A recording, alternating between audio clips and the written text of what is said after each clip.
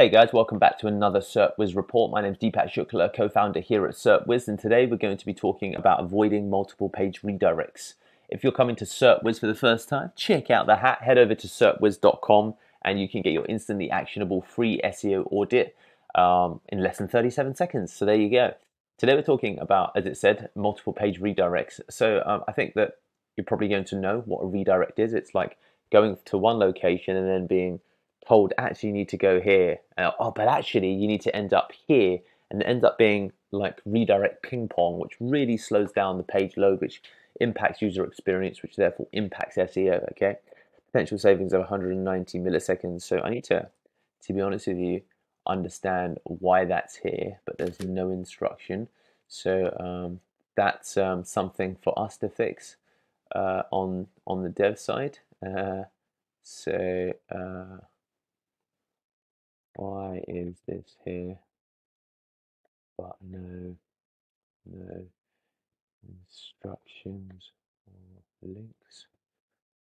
Uh, so that that part there. So um basically um, let's jump into here to give you a better insight and our tools you know we're constantly developing it so I spot these things I do the videos and I'm like okay great um, so basically, um, this was updated in 2019. So redirect slow down your page load speed, which is obvious. When a browser requests a resource that has been redirected, the server usually returns a HTTP response like this: move permanently location path to new location. Okay, to new that's the new location. It must make another HTTP request and HTTP requests. If you're wondering what they are, let's just give it a quick Google work as an intermediary transportation method between a client application so um, and a server. The client application could be Chrome, the server would be wherever the site is. Yeah, the client submits a HTTP request to the server, and after internalizing the message, the server sends back a response. The response contains status information about the request um, and HTTP. Just get the HTTP meaning. No, it is Hypertext Transport Protocol, Hypertext Transfer Protocol, in case you're wondering. So there you go. So we come back to the Hypertext Transfer Protocol. I want to try and remember that word now. Um, the browser must, you know, this, this, these trips basically delay the loading of a resource by hundreds of milliseconds. So um, audit fails when there has two or more redirects. So I was having this problem the other day. How to eliminate it?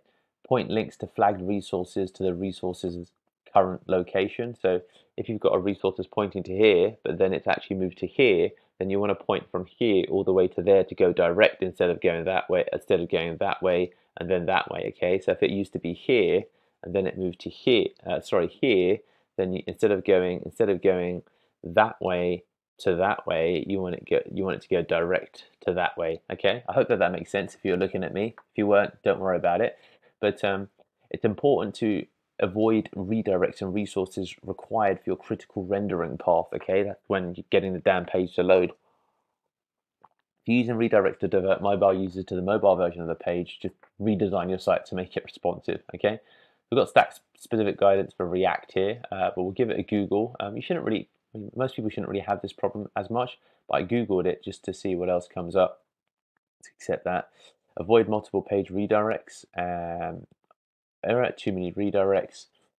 So it's always good just look at the titles. Um, how to eliminate re redundant redirects. Um, redirecting with Apache. Uh, okay, is there anything that's perhaps uh, easier for the non-technically minded like myself? Well, look, there's insights here with Apache, with Nginx. I don't even know if that's how you pronounce it redirecting HTTP to HTTPS, redirect www to non-www.